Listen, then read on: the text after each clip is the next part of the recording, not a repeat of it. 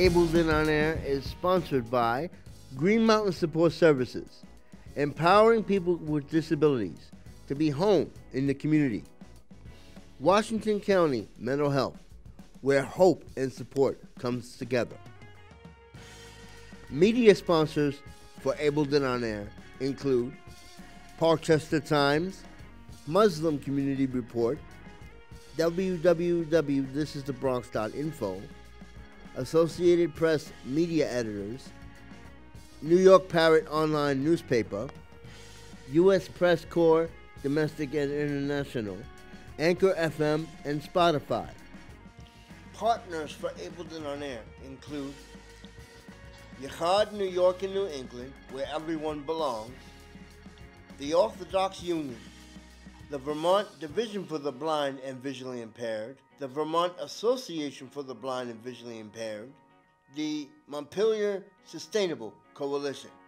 Abled and on Air has been seen in the following publications Parkchester Times, New York Parrot Online Newspaper, Muslim Community Report, www.thisisthebronx.info, and www.aish.com. Abled and on Air is a member of the National Academy for Television Arts and Sciences, Boston, New England chapter. Welcome to this edition of Abled and on Air, the one and only program that focuses on the needs, concerns, and achievements of the differently able. I've always been your host, Lawrence Seiler, and Arlene is here today. Hi, Arlene. I'm Arlene Seiler. And on today's um, program, before we get to our wonderful guest, um, Elizabeth Parker from the Sustainable Montpelier Coalition of uh, Montpelier, Vermont, we would like to say special thanks to our sponsors. Um, thank you to Washington County Mental Health, Green Mountain Support Services, Muslim Media Corporation, and many others, including um, including support from uh, the Division for the Blind and Visually Impaired, and also the Vermont Division, uh, I mean the um, Vermont Association for the Blind and Visually Impaired, and many, many, many others. Uh, we would like to welcome Elizabeth Parker from the Sustainable Montpelier Coalition, and today we're going to talk about uh, transportation, especially um, during and after COVID, and also the um, Green Mountain uh, transit system and their quote unquote new uh, My Ride program. Welcome to Abled and on Air, Elizabeth. Thank you so much, uh, Lawrence and Arlene, for having me here today. I'm so excited to be here with you. And one of the first things I wanted to ask you was um, we have a My Ride Community Advisory Group, and we have a list of about 90 community partners, and we would really love to add Abled and on Air to our partner list if you would be interested in joining, yes, interested in definitely joining. love to be part Yeah, of your committee Yeah. and um, definitely um, help. Um, and we thank you so much for coming to Abled and on Air today and being our partner in this fight of um, accessible transportation. Um, before we begin, you know, one of the things, um, so many people and so many states have problems with their transportation. So that maybe you can shed light on that. Um, what are the missions and goals? First of all, what are the missions and goals of the Montpelier um, The Sustainable Sustainable Montpelier? Montpelier Coalition? Yeah, so um, the Sustainable Montpelier Coalition, first of all, we've got a team of um, uh, people. Tom Hubertson, we have an AmeriCorps Vista volunteer, um, and uh, he has been working with the CAN initiative. Um, we have Laura Brook, who's the CAN coordinator and has been our research director. Dan Jones is our founding director, and he's now currently working on a project of organizing a citywide sustainability roundtable. And then, of course, there's me, uh, Elizabeth Parker. I'm the community engagement director and the CFO. And um, so the Sustainable Montpelier Coalition came out of the Sustainable Montpelier 2030 Design Competition. Uh, do you remember that? That was at, um, uh, we had a whole bunch of, um, uh, over 20 uh, teams had done a program I mean, had done um, plans of what Montpelier might look like if there wasn't parking. Do you remember that was at um, where Rabble Rouser is now? It was like maybe five years ago. Oh yeah, with electric cars, right? Electric. It, no, it wasn't electric cars. It was it was diagrams of what Montpelier might look like if we didn't have parking, and uh, so we had we started out. We had 20 entries. We we put up this design competition, and we thought, oh, you know, not many people will come, and suddenly people from Japan and from Italy and all over the United States and and from And Montpelier was supposed to also have. I don't know if you were part of this. They were supposed to have a, a new parking garage with the with a No, hotel. we weren't, we weren't involved with that, but the idea was how to, sixty-five percent of downtown is parking.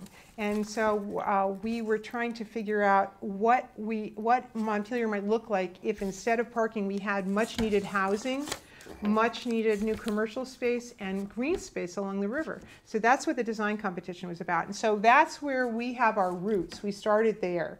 And um, that was done by Net Zero Vermont, and then Sustainable Montpelier uh, Coalition started. And so our main goal is in the areas of clean transportation, it's land use. And so clean transportation, housing, and open space. And now we're kind of, we've branched into community building with capital area neighborhoods. Okay. Um, can you explain to me about the GMTA My Ride? Um, Sure. And why that came to be? Sure. So the, as I was talking about uh, the fact that one of our core issues is land use, if 65% of downtown is parking for single occupancy vehicles, then we can't put in new housing, and we need desperately need new housing. I mean, we really, really need new housing, and so um, in other parts of the country, on-demand microtransits, which is like a shared Uber or a shared Lyft, where you get to choose when you get picked up or dropped off, or where you get picked up and dropped off, um, came into, uh, uh, we became aware of it, and our research director, Laura Brook, did a whole bunch of research on it. And um, then VTrans got involved and created a working group of people who um, were from the city, the state, nonprofit. Um, Peter Yonke from VCIL was on that working group. Um, so we tried to have a broad base of representation uh, so that people who had disabilities would be represented on that group. Why is it? Why is it so hard uh, for? If I'm saying it right, why is it so hard for people with special needs to have accessible transportation, especially in this world today, what we're going through? I, I honestly, it uh, blows my mind that uh, accessibility would be an issue in 2021. Uh, unfortunately, it is, and I'm happy to say that COVID taught us a lot of lessons as a as a culture.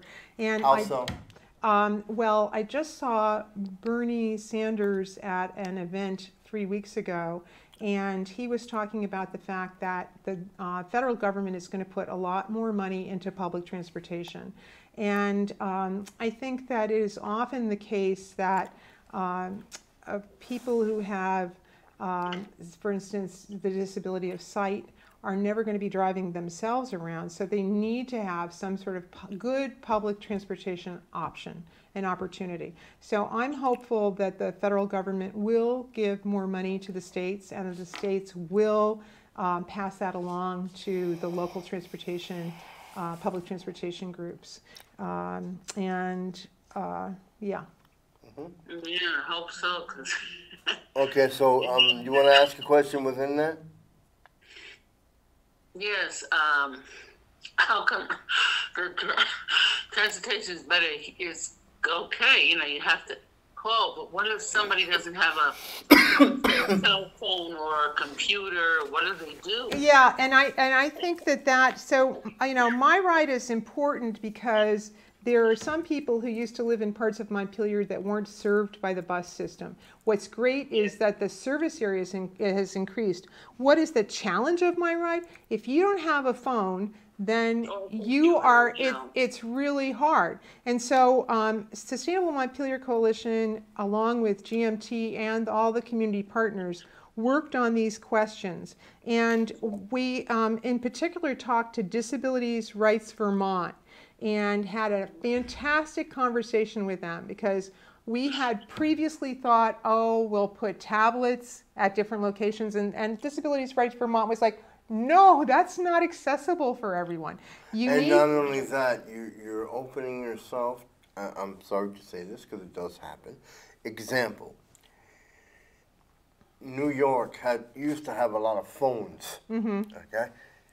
Or pay phones. Right. And they took them out. They took them out. They took them out because people were vandalizing them. Right. So if you put a tablet somewhere, it's definitely it's going to get vandalized. So if you put a phone, uh, example, um, years ago, way back, way back in the day when the when the police department first started in New York, they used to have these emergency call boxes. Exactly. Right, emergency box. You're gonna stand a chance of it being vandalized. Yes, you may stand a chance, but it's a lot less likely that a transit phone, which is what you're talking about. So with the, the I'm sorry for what, what, that up. No, no, it's fine. It's it's a good point.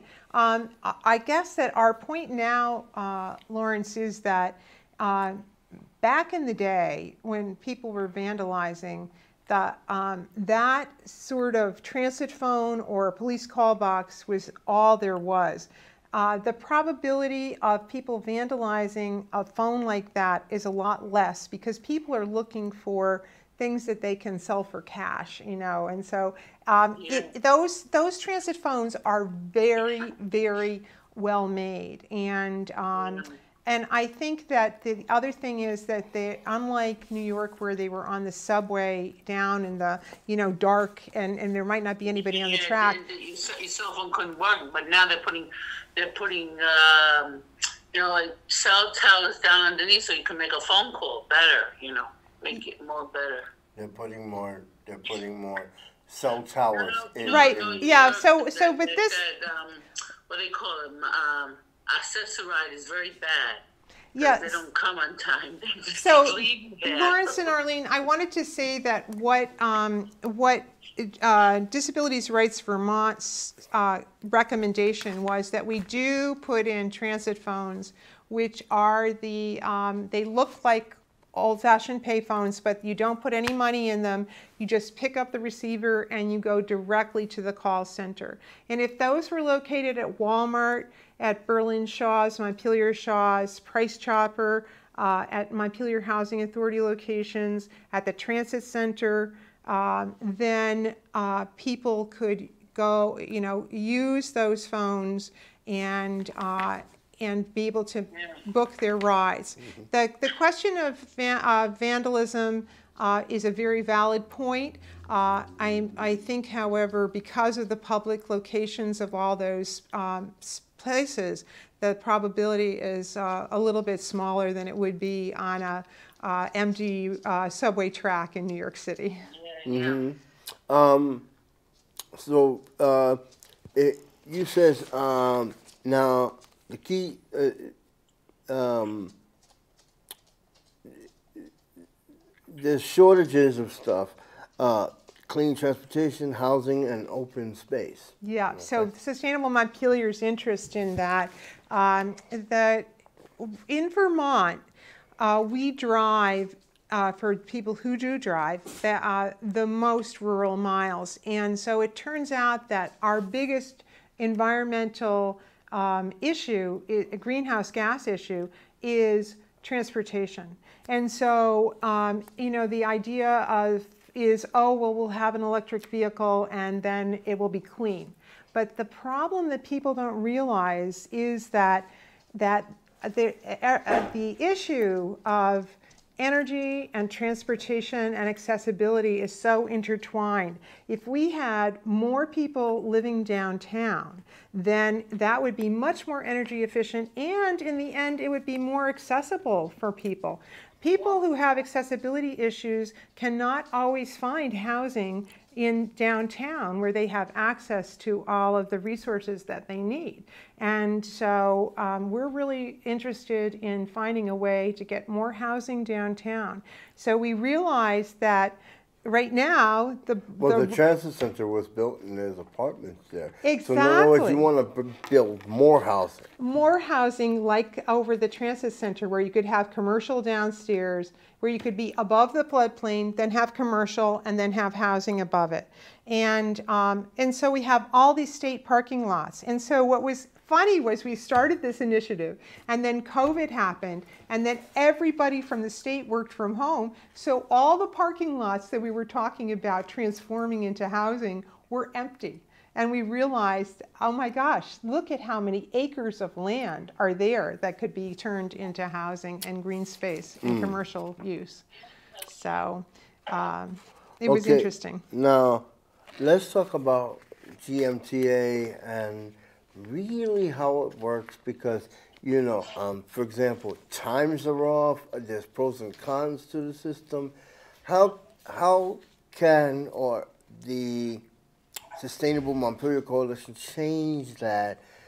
Because some, you know, uh, obviously um, Montpelier and Vermont has a lot of, you know, has a huge elderly population, Yes. and people are not. Some people are not happy. Some people are happy. So Right. how how can you change that So to um, yeah? I, one of the things I wanted to go through, if um, you have time, is just Oh, about we got plenty of time. If Oh, we need to go over, we can. Good. can. Okay. So, um, because I just wanted to go over how to make, uh, how to schedule a ride by phone, and um, the first thing, and then we're going to talk about what if your ride doesn't work after we talk about how you schedule a ride. How's that sound? Okay. Good. So, um, in the beginning, uh, we GMT had the, their Burlington number, but we're now have them using their local number so that it doesn't cost any money for people who still pay for long distance to make a call. So the phone number for GMT is 802 223 uh, 7287. And one of the things that's confusing is that when you call, you get this message, and yeah, you have push to number choose- one for a ride. yeah, you have to choose number two for my ride. So you always want to push number two for my ride. And, um, and so option one has different hours than option two. Option, Option one is for the volunteer drivers for a medical ride. is it? Yes, it is. Okay, but but that that has a shorter. That's from like 7:45 to 4:30 p.m. Uh, Monday through Friday. Option two is from 7 o'clock to 6 o'clock Monday through Friday. 8 o'clock to 6 o'clock on Saturday. So they're extended hours. So it's really important for people to always choose number two, option two. And, um, and so then for new riders, you always have to sign up and give your name and phone number. It's advised if you have email to give email. If you don't, then that's not a problem. And also, if you have accessibility issues, always feel free when you're signing up to tell the customer service representative, um, you know, uh, uh, by the way, I'm, I use a wheelchair, and so I would need to use the lift. Or, um, by the way, um, you know, I'm sight impaired, so I would need to be supplied information in a, a larger font. You know, whatever the particular disability is, always feel comfortable giving that information because we really want to know that. Um, and Go yeah, ahead. Arlene. Go ahead, Yeah, if, Arlene. somebody, if somebody's blind, right? Yep. Do they have do they have it in braille? Yes, I believe that there is, uh, there is that option, yes. And that can be sent to you. So, you know, I think that, that um, GMT is really, I mean, I've worked with them and they are really interested in um, making this, the service accessible. And they have done all sorts, I've asked them to do things and they have accommodated people um, many times, and I'm very um, happy to be working with them because they're so responsive and um, and concerned about making the system accessible. Um, you know, I know that we have a number of people who are um, completely blind who use the system, who were using the system before the service was switched over, and who have made a pretty seamless transition to the new system. So, um, you know, What what was the old system and why didn't it work? Okay, so the the f- earlier system was what we call fixed route, fixed schedule buses. So there used to be three fixed route, fixed schedule buses. One, the circulator, the Montpelier circulator, um, which covered a good bit of Montpelier, but not as big a service area as is now being covered. Then there was the Capital Shuttle, which basically went out to the Department of Labor, up to National Life, and then back to the State House uh, or the. Um, circulating, yes. The yeah, the, and then the third bus was um, Montpelier Hospital Hill, which ran uh, from. Um, it went from Pioneer to Lane Shops and then uh, back through to uh, Shaw's and then up Berlin Street to CVMC to uh, the Berlin Mall and then Berlin Shaw's and it kept making that loop all day. Those buses were very effective. I mean, they took passengers where they needed to go. But during COVID, it, was it because of uh, what was the um, the change? Was it because of, there was less people on the buses? This this whole system came not because of COVID. This whole the new um, the My Ride by GMT uh, initiative was conceived of and planned before COVID happened. And so the advantage of the new system is that, for instance, um, one time I was riding Hospital Hill. I used to ride Hospital Hill every morning to go up to um, First and Fitness because um, you know I've had a scoliosis, I've had back pain all my life, and so if I don't exercise, I you know I suffer for it. So I would swim six days a week, and I would take the bus up first thing in the morning. I would catch it at like 7:10 and go up to First and Fitness, and then come back and then go to work. Uh, and so one time I was coming back, and I ran into a couple uh, who lived on Barre Street, and they lived down beyond the co-op. They had a child, and they would go up and they would get their groceries up at um, at Walmart. And in the wintertime, here they are with a stroller, and the guy has this huge backpack, and they have a second stroller to carry some of their goods. So they would have to go from Citizens Bank and walk all the way down Barre Street with all that stuff. Now, with a new system, they can get picked up at their house with their child in the wintertime when it's snowy, and they can go shop and they can have they can get all their groceries and they can be dropped off right at their house. So there are lots of accessibility. Yeah issues of, for people like that who weren't right on the fixed route um, a fixed route um, uh, mm-hmm. locations. Uh, and so I did want to get into so when you call GMT uh, and you choose option two, if you're a new rider, in addition to expressing your accessibility concerns, there's also notification that happens, and you want to make sure that your notifications are turned on. So when you're registering, always ask that notifications are turned on. So that means that you would be called the night before and told that you have a ride. And when and you would get a text also. Uh, you you might get it. You might get a text. You might get a. Some people don't get texts. You might get an email, a text, or a phone call the night before depending upon what your preference is.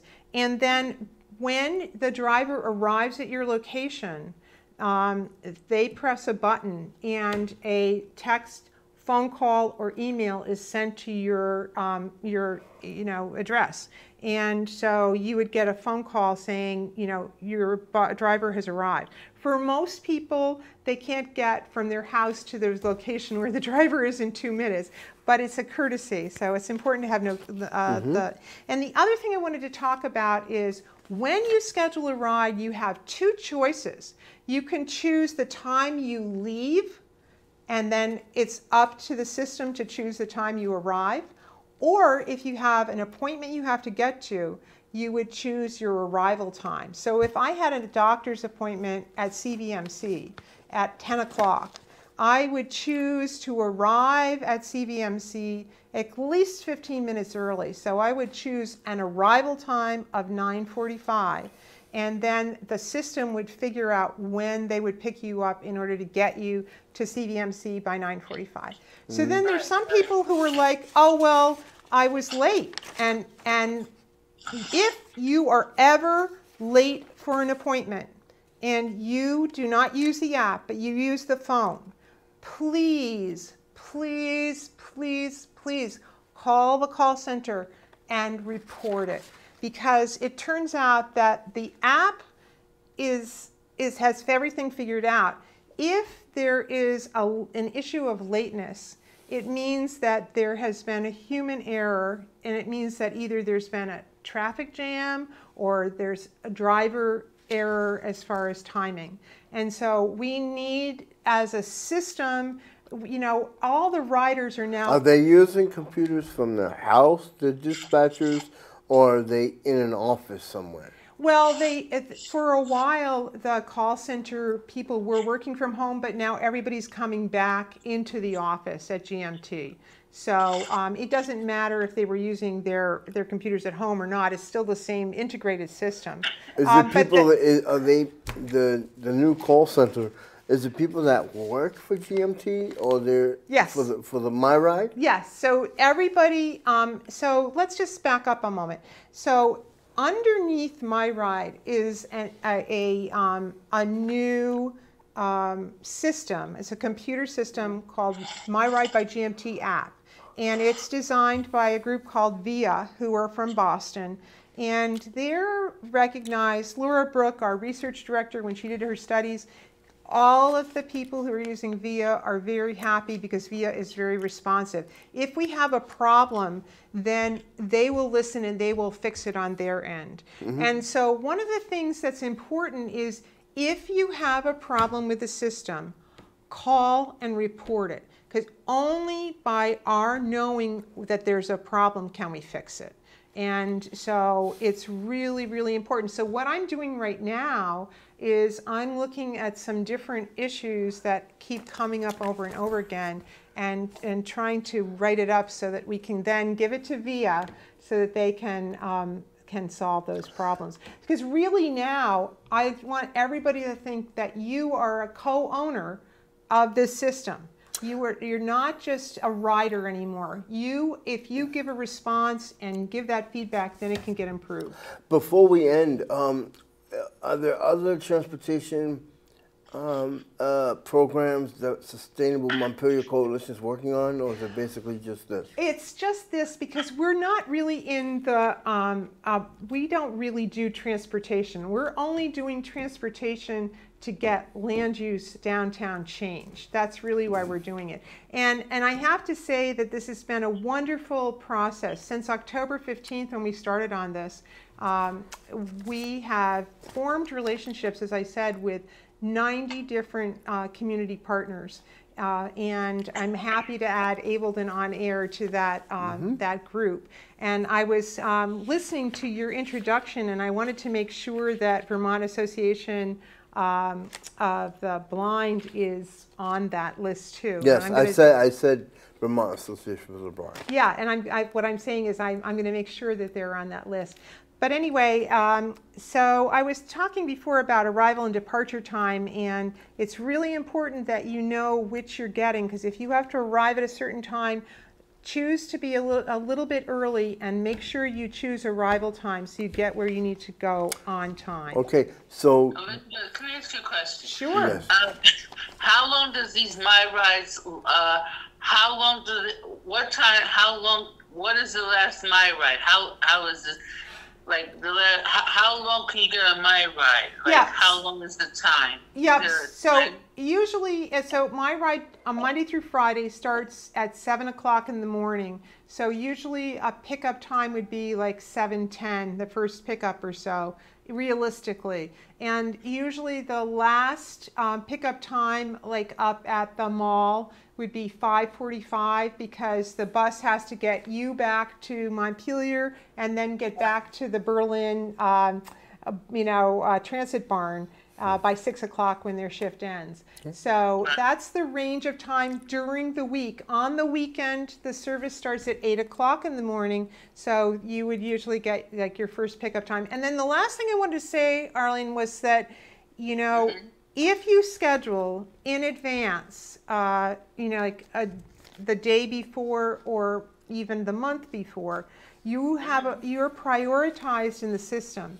We are, you know, there are some people who just want to um, order up a bus on the fly, and so, um, for instance, Does I- that ruin it for people, or is it um? you mean the fact Is it problematic that they're doing it ahead or? Um, that's their choice. And so if you know that you're going to have a doctor's appointment, you know, in three weeks, book the ride for that now. You don't wait for it. No, if it's my ride, I tried that. Mm-hmm. I have to call the other number for the volunteer drivers because the my ride said it has to be the same day. No. I, I was told that No, yesterday. well then that, that's misinformation.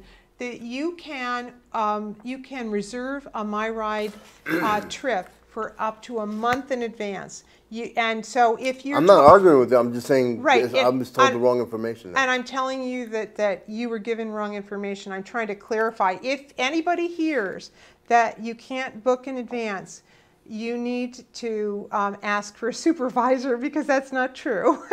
and so um, you can also have a recurring ride. So there are people who, for instance, work at Berlin Shaw's and they book a ride uh, five days a week at the same time uh, for up to a month out in advance, and then they have their return trip booked at the, at the same time in the evening, up to a month in advance. So you can book all those trips in one sitting.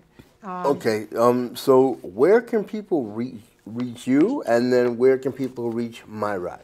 Okay, so um, it's really important uh, that people uh, reach out to GMT uh, if they have any questions. And um, I believe the email is info at um, uh, ridegmt.com uh, if you have a, a concern and you can email. Otherwise, if you want to reach GMT, the phone number again is 802-223-7287, option two. And If and you- the website for Montpelier for Sustainable Montpelier Coalition. So our website is uh, sustainablemontpelier.org, and our phone number is 802-272-1195. And we're also on uh, social media on Facebook and Instagram for people who do that. Um, and if you have email and you want to shoot us an email, we're info at sustainablemontpelier.org. Well, um, I would like to thank you for joining us on this edition of um, Abled and On Air. Again, if you would like more information on Sustainable Montpelier, um, uh, Montpelier Coalition, you can go to www.sustainablemontpelier.org or their number is 802-272-1195 and um, um, GMTA uh, uh, to book and my ride is 802 um, It's, What is it? Yeah, so they're 802, um, oh my gosh, here, it's right here on the sheet. It's okay. Uh, 802-223-7287. Yeah. I, I know it in my sleep. Uh, uh, I've, I've said it so 802 223 three, seven, two, eight, 7287, option two. option two. And uh, for those that want to find out more about Abled and On Air, you can go to www.orcamedia.net. That's O-R-C-A media.net. And uh, we would like to thank Washington County Mental Health, Green Mountain Support Services, Sustainable Montpelier Coalition, uh, the Division for the Blind and Visually Impaired, the Vermont Association for the Blind and Visually Impaired, and we would like to especially thank um, um, Elizabeth Parker and um, our new partner, yes, I'm so um, excited. Our new partner of the Able Air, Sustainable Montpelier Coalition. Um, please, it's extremely important to have um, transportation for people with disabilities, and we hope that my ride does continue. Um, I'm Lawrence Seiler. I'm Arlene Seiler. See you next time.